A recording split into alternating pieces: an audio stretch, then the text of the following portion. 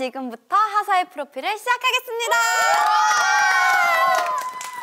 어, 제 특이사항은 음, 저는 청각이랑 후각이 예민해요.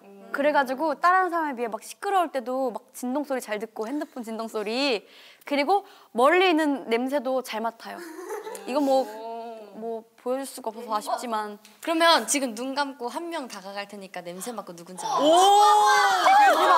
대박 대박. 근데 멤버들이 향기를 맡아본 적이 없어. 이- 있어요 여기? 냄새 아무 냄새 안 나는데요?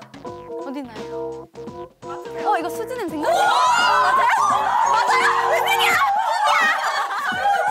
대박이죠? 아, 자 보셨죠? 저는 후각이랑 좀 예민해요. 아 그리고 저는 또 반전으로 이렇게 사진처럼 세 보이지만 사실 애교가 조금 있나 봐요. 저는 잘 모르겠는데. 아니에요.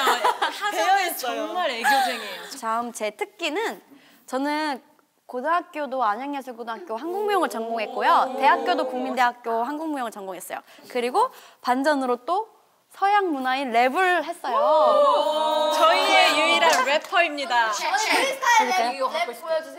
요.